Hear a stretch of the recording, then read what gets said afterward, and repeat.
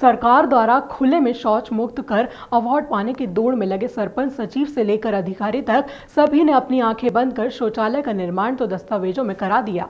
लेकिन स्वच्छ भारत अभियान के दावों की पोल किस तरह खुल रही है? लापरवाही इस कदर की एक हितग्राही के शमशान में भी स्वच्छ भारत के तहत शौचालय बनवाकर गजब कर दिखाया। ये पूरा मामला कोरिया ज़िले के विकास खंड भरतपुर के ग्राम घगरा का है, जहाँ स्वच्छ भारत के तहत शौचालय निर्माण का कार्य कराया गया था। लेकिन आज भी आधे अधूरे शौचालय बने हुए हैं। जिनके बने भी हैं, उनके उपयोग के लायक नहीं है। आज भी लोगों को खुले में शौच जाने पड़ रहे हैं। वही शौचालय निर्माण में लगे हुए मजदूरों को उनकी मजदूरी तक नहीं मिली। उपयोगी तो नहीं है सर यहाँ का शौचालय। बहुत ख़राब कंडीशन में है।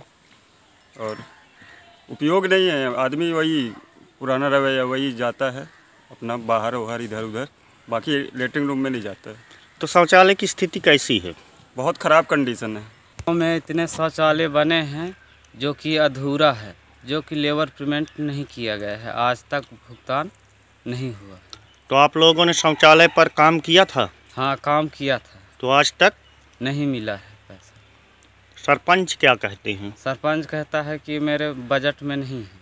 सरपंच और सचिव ने एक हितग्राही का शौचालय उसके पिता के शमशान में बनवा दिया, जो ये शौचालय किसी उपयोग में नहीं है, जबकि यही शौचालय हितग्राही के घर में बना दिया गया। होता तो उसके उपयोग होता। ग्रामीणों का मानना है कि शौचालय निर्माण में लगे सरपंच, सचिव मनमाने तरीके से काम किए हैं। शिकायत करने पर भी अधिकारी ध्यान नहीं देते। वह इस मामले को लेकर जब जनपद पंचायत के सीईओ से संपर्क करना चाहा तो वह शासकीय कार्य से बाहर गए हुए हैं। फ़िलहाल अब देखना है कि अधिकारी मामला सामने आने पर क्या कार्यवाही करते हैं?